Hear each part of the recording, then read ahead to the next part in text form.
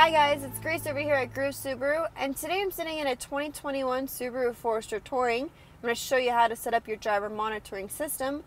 And the benefits that this system offers you, for one, is detecting if you're driving drowsy, and for two, to help customize and become more personal in between drivers if you have multiple drivers who use the vehicle.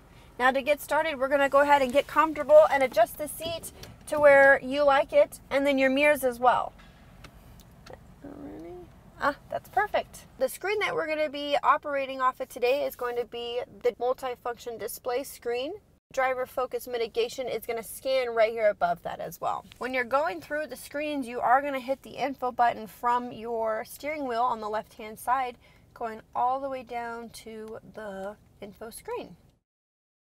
And a tip when you are setting up the display, just make sure that if you are on the info button on the screen in front of you, go ahead and take it off so then that way it allows the controls to then function up here on the display screen. Then once that's off, go ahead and hit the press and hold the info button.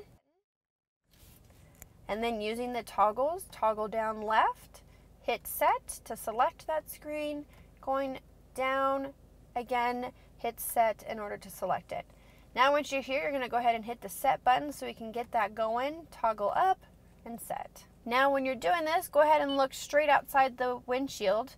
When it beeps that it is recognized, sometimes if it doesn't work, go ahead and just pan your face to the left and to the right for it to work.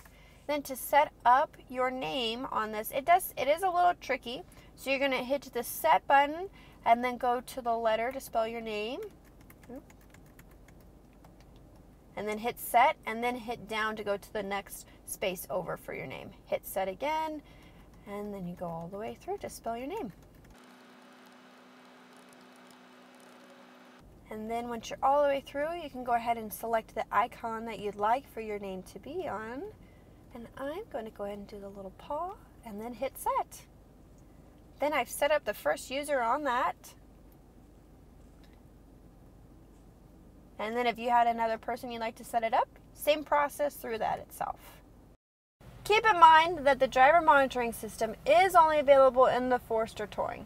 Thank you so much for watching. If you guys had any questions, please leave them in the comments below. I hope that you found that this video was useful to you, and I'll see you in the next one.